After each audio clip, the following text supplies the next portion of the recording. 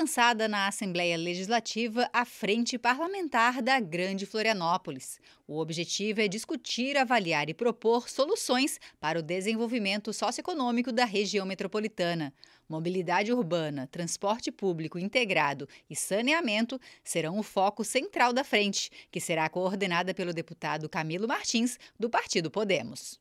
A principal dela é a questão da mobilidade urbana, onde nós vivemos numa região conurbada, que precisa ser discutido de forma ampla, em conjunto, para achar as melhores soluções.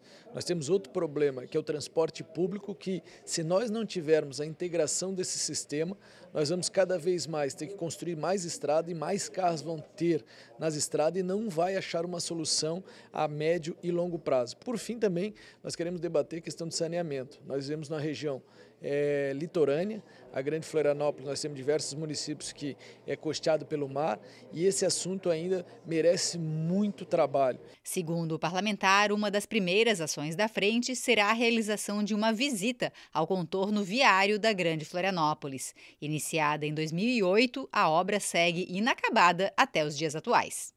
Vamos ter uma visita técnica é, no contorno viário, é, junto com o CEO da Artéries, o César Sais, já está previamente agendada. Nós vamos comunicar aos deputados, vamos convidar os prefeitos, vereadores, é, senadores, deputados federais que queiram participar, o pessoal do governo, através do secretário de Infraestrutura, para que a gente acompanhe essa obra que é de grande valia e grande importância para a mobilidade da região.